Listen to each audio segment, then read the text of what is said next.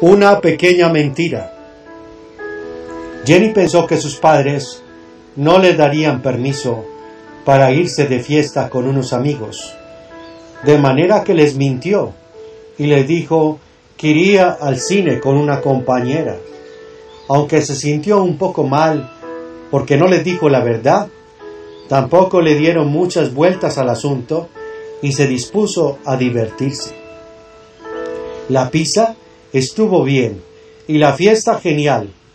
Al final su amigo Pedro, que ya estaba medio borracho, la invitó a dar un paseo. Pero primero se quiso dar una fumadita, esa de aquellas relajaditas. Jenny no podía creer que él estuviera fumando eso, pero aún así subió al coche con él. De repente, Pedro empezó a propasarse. Eso no era lo que Jenny quería del todo.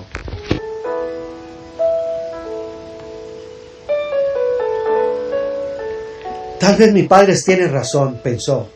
Quizás soy muy joven para salir así. ¿Cómo pude ser tan tonta? Por favor, Pedro, llévame a casa. No me quiero quedar contigo. Molesto, Pedro arrancó el carro y comenzó a conducir a toda velocidad. Jenny suplicó que fuera más despacio. Más despacio. Pedro, por favor, más despacio. Pero mientras más rogaba, más pisaba el acelerador. De repente vio un gran resplandor. Dios, ayúdanos. Vamos a chocar. Ella recibió toda la fuerza del impacto. Todo de repente se puso negro.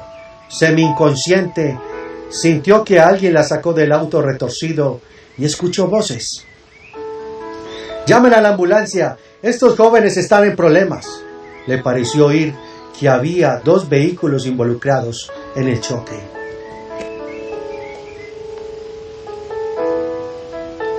Despertó en el hospital viendo caras tristes. Estuviste en un coche terrible, dijo alguien. Ese choque fue terrible. Se enteró de que Pedro estaba muerto. A ella misma le dijeron, Jenny, Hacemos todo lo posible para no perderte. Y la gente del otro carro preguntó, Jenny llorando. Murieron también.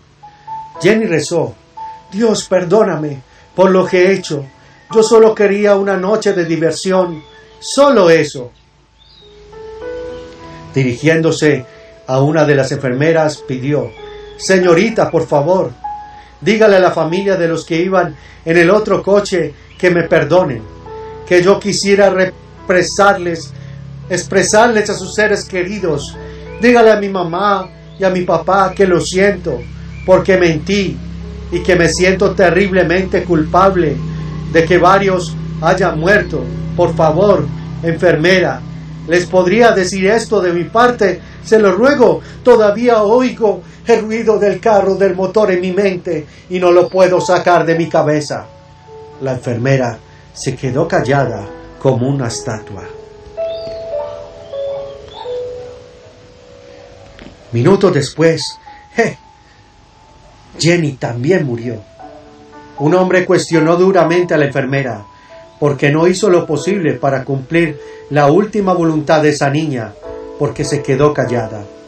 La enfermera miró al hombre con ojos llenos de tristeza y le dijo, por una razón, porque la gente en el otro coche eran su mamá y su papá que habían salido a buscarla.